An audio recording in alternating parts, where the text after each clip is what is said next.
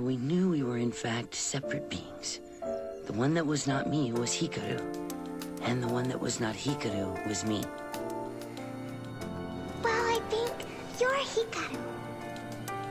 You guessed wrong. How can we show our individuality if no one can tell us apart? You know, it's possible that no one will ever be able to tell which one's which.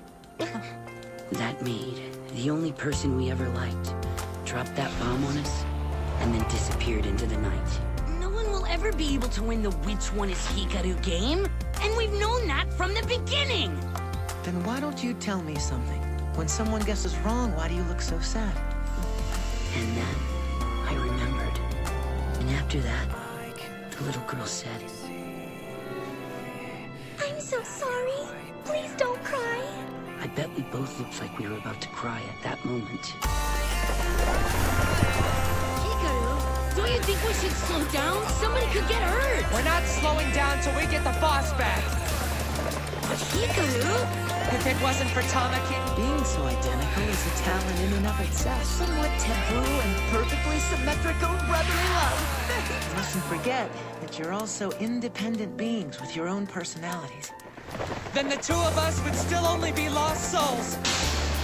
We were able to become friends with Haruhi and the others because the host club brought us together. Let's open the doors together. To think that all of it could end so suddenly like this is something that I can't tolerate.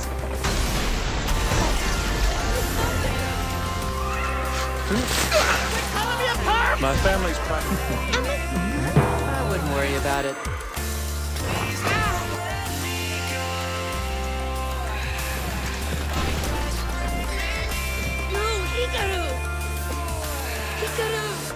Hikaru! Hikaru, are you okay? Is your arm hurting you? Damn it. Hikaru. Oh, look at you! You two look so cute today, just like little dolls. Now the twin with the blue hair is Hikaru, and the twin with the pink hair is Kaoru, right? No, you're wrong, Auntie.